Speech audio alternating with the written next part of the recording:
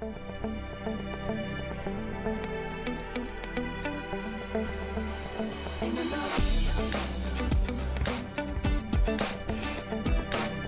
washout.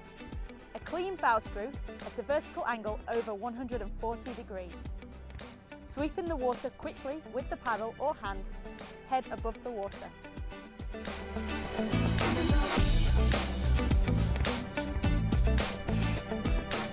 Value of this move is 30 points.